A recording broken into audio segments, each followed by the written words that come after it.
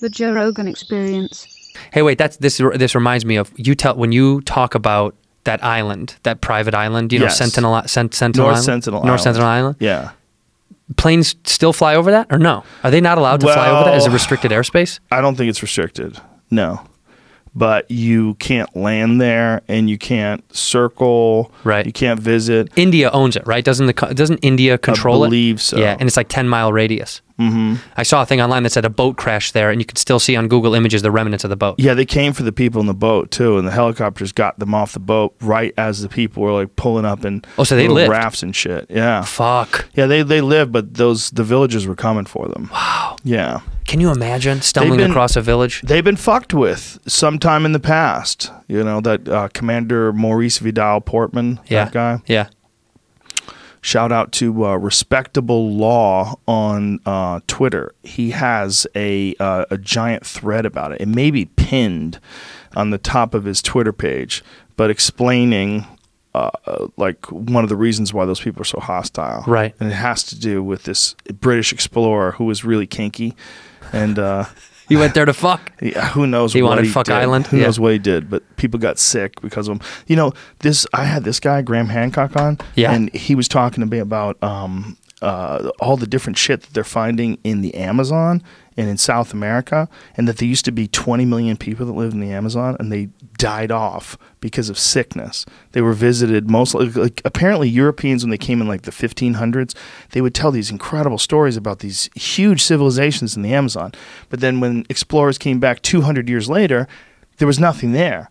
And they were like, "This is crazy." They they lied. They must have lied. But it turns out they didn't lie. What happened was smallpox ran through the fucking jungle and killed people. everybody. We did it.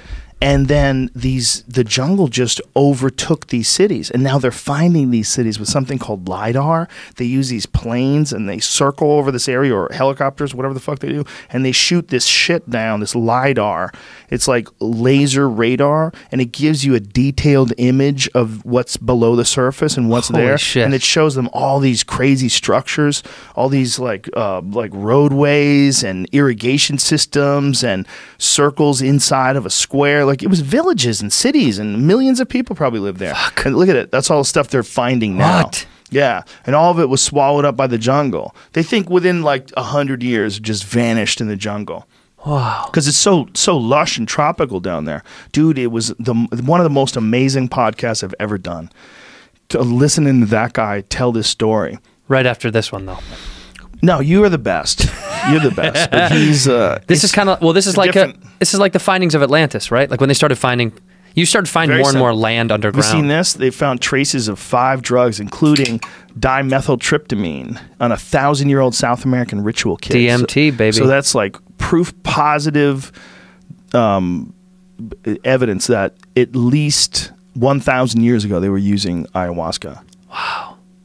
This was the drug pouch that was made from fox snouts. That Yeah. sounds so crazy. Fox like, nose. It literally look when you see it, it looks like a nose. of a fox. they, they used everything. and the fur That is is still crazy. intact. It looks really nice. The nose. I wonder why they do that with a fox. It's probably like some cleverness. Do you know that that's what a shaman? That's like literally what a shaman is supposed to. That's what the the, the definition is supposed to be in certain cultures. Huh. Certain cultures, it's a clever fellow. That's who the sh- the shaman is. It kind of makes sense. They are just clever fellows. But I mean, imagine that. Like he takes a fox. That clever little fucker. I'm gonna take his face. I want and his hide fucking my face. drugs in his face. Only a person would think to do something so I'm creepy. hide my drugs in this or thing's an from nose. insect. Chipmunk cheeks. Yeah, right. That would be the good move. pouch. Yeah, a little pouch Those are good pouches. that hangs from your belt is just chipmunk cheeks with all your coins in it.